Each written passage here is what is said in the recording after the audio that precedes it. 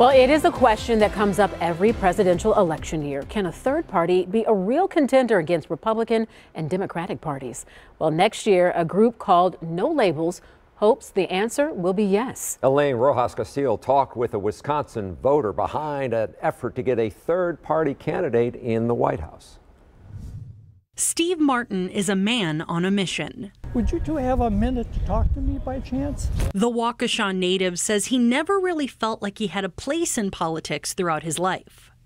I've always considered myself to be an independent.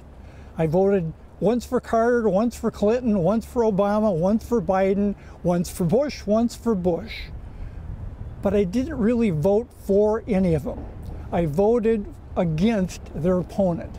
Now in his 70s, Steve says he was searching for something to do during his retirement and discovered No Labels about five months ago. Started in 2010, the grassroots group focuses on bipartisanship and finding a candidate who can act as a bridge between differing opinions. A unity ticket featuring a moderate Republican and a moderate Democrat.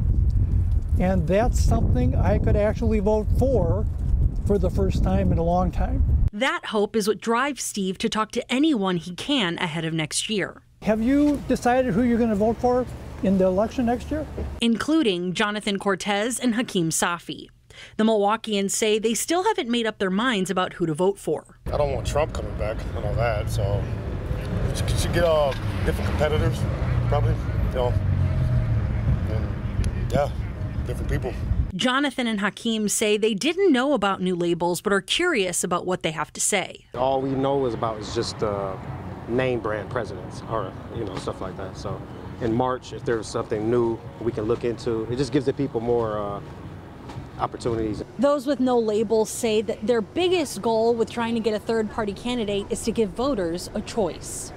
We need somebody who is moderate on both sides to be able to reach out to their side of the aisle as president, vice president, to actually get something done. With Ross Perot and Ralph Nader being the biggest independent presidential candidates in recent history, Steve says he understands voters' concerns over splitting votes. He says No Labels is focused on making sure whoever they get on their ticket has a fair shot, but won't stand in the way of what's right for the nation. If it ever gets to the point where we do not see a clear path for victory and that we would simply be a spoiler for either side, we'll simply pull the ticket.